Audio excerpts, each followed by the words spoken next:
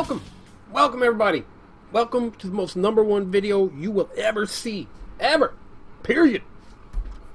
Today I want to talk about the Web TV viewer and how to uh, use the Hackers Edition.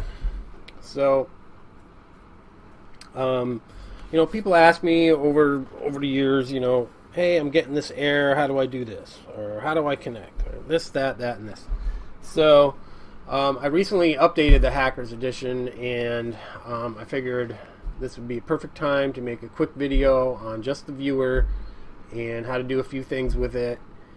And then that way, uh, if people email me, I can just send them a link, a link to the video. Alright, so first thing you want to do, download the WebTV Viewer Hackers Edition. Um, I'll put a link in the description below.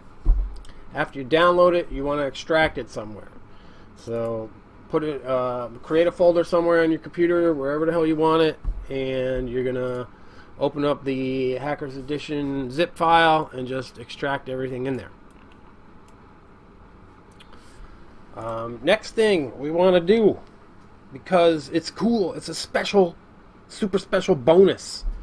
I found a uh, old program that I made, I think around, I don't know, 2000 something, uh, early 2000s. Anyways, um, this was the uh, original program that I wrote just to launch the viewer, so um, you didn't have to go into like folders to launch it. I also added the um, the uh, registry uh, editor that would uh, reset the viewer back to um, uh, default settings and you know clear out all the cached URLs and everything.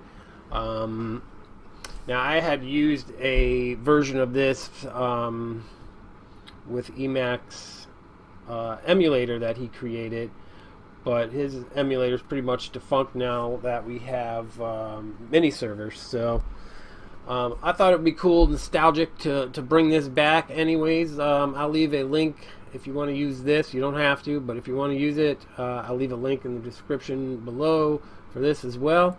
So after you download this, you can just uh, open up the zip and extract it in the same spot that you extracted the uh, the viewer. And there we go. And then, um,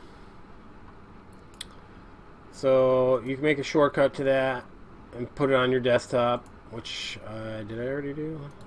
Let me. Uh, I just do it anyways. Okay. Um, yeah. So you got a shortcut, then you can just close that. Okay. So we open it up. And basically, like I said, all this does is let you launch the uh, Viewer 1.0. 2.5, you can open up the directory where the viewer is installed.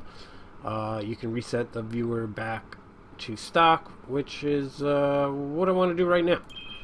So you click that. Um, if you have this ticked, the sound, um, that will uh, enable sound in the uh, viewer 1.0. Uh, and then you just click this button that resets uh, the, the viewer. So let's reset that. Close it. And so now the viewer should be completely stock. Um, if we open it up, it should be like, if you ever use the original viewer, you would get like this registration thing. Um, I changed that. So now when you open it up, it, it you know it tells you that you should, if you want to auto connect, you should probably uh, edit the preferences now. So you can do it, or you can just click OK if you don't want to do it. But let's do it. And so all you got to do is copy this address paste it in here and tick that little little box there and click OK. And then click OK again. And now we got it. now we got our viewer. Okay. So now if we kill it let's kill it close it so now, when we open it up again, it should just, you don't have to do anything. It should just automatically connect to the Hack TV mini server. So open it up.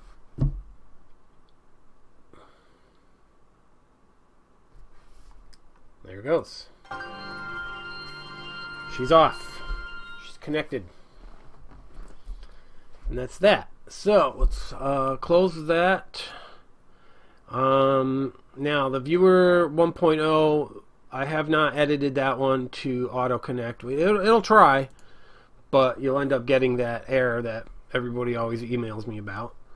This error right here. So to get by that error, if you want to use 1.0, most people don't. That's why I didn't edit it. You know, I didn't bother, but maybe I will at some point. Uh, anyways, to get by the error, it's just client uh, active and go. And then now you're now you're um, connected.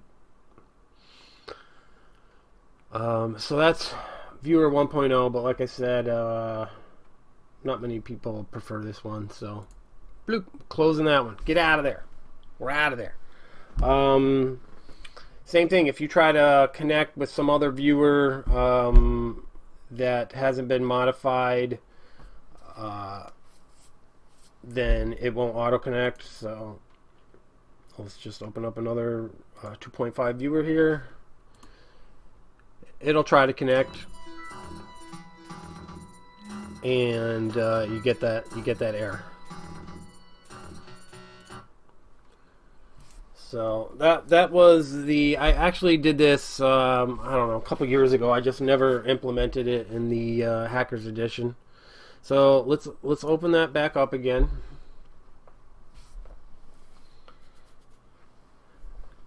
So um, for example, uh, let's say you don't want to use the uh, this little program here uh, to reset the viewer. Like if you had it installed or used it previously, and then you download the uh, Hackers Edition, the new version, um, and you don't want to reset, then um, I tried to make it as simple as possible to get to the preferences. So right here it says set up auto connect. If you click on that and then setup it just brings you to the preferences where you can um, input that uh, address that I did earlier or you can just get to it the original way edit preferences but I wanted it I wanted to make it stand out so that people would would see it It'd be easier for people to find uh, you know especially if you've never used the viewer before you don't know where nothing is you know it's pretty easy set up auto connect you know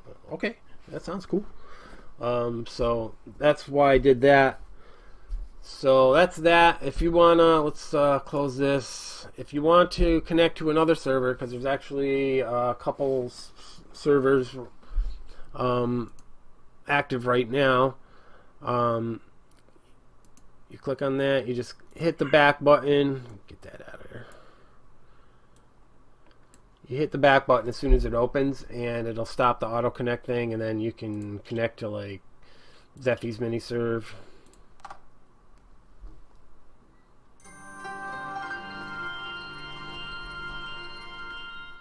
and there's also another server that um, is being worked on I believe um, I, I, think it's going to be public at some point I don't I don't know but um, if it ever is, uh, I'll probably do an update and add it to the Connect setup. But uh, I think that with their server, I think they're going for like um, the original look of the WebTV server, whereas you know Zefie's got you know his basic look here. You just go in, you do all the stuff that you got to do, whether it's updating or um, you know you just want to go to some address or listen to some music or whatever. And like my server, for example, uh, let me go here, uh, here.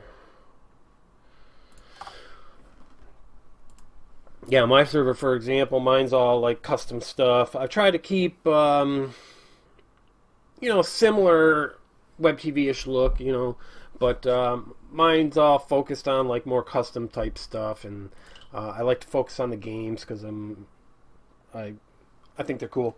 So the games and you know of course downloading builds and you can do all the important stuff too downloading builds you can um, download the game separately if you want and uh, uh, all that stuff so anyways um, next thing uh, that we should probably go over real quick is on the the Viewer 2.5, the one that everybody's going to download, the Hackers Edition. It's already preset um, to connect to an account. The account's called Hackers Edition. If for whatever reason you want to uh, make your own account, um, you're going to have to edit the viewer.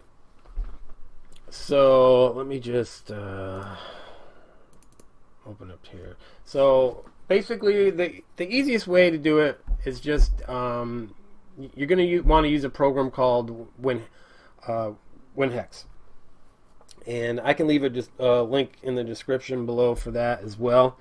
So you open up WinHex and you just want to open up the viewer 2.5 in there and what you want to edit is uh, it's right up at the top so it's real easy to find. What you want to edit is the uh, WebTV client serial number. So it starts here. Noob for life 01 so all you have to do is just be careful. Don't don't fuck with shit too much. You want to be careful but you can be like you know poop for life you know 01 or poop for life, you know, 02. Or you can change it to like whatever you want. Just, you know, keep the just so you don't screw anything up, keep the um, the amount of letters and characters exactly the same. I think there's 16. Um, you know, you can do less, but then you gotta insert, you gotta do shit. So don't don't do that. Just keep the amount that's there. The 16 come up with a 16 character uh, serial number of your own. And then once you do that you would just you know save it file save as you know you can do um, in order for it to work with the launcher you want to keep it the original name but just for testing purposes you can just X. Save it. And then uh, what the hell where did I uh, where was it? There it is Okay, then just to make sure that it works, you open it up. We're going to auto connect. And we should get registration. Let's see what happens. Yeah, there we go. So now we're at uh, now now you're at registration and you can register your own account and do that. So I think I think we went over everything uh, good enough. Uh, uh, if you have any questions, just put them in the in the comments section, man.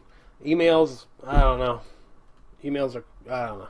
If you have to email me, email me. But other, put it in the comments section. If you got any questions, I'll try to answer them. I'm getting old and senile now, so maybe I won't be able to. I, I don't know. Anyways, thanks for watching, and I hope you found it useful. And that's it. Goodbye.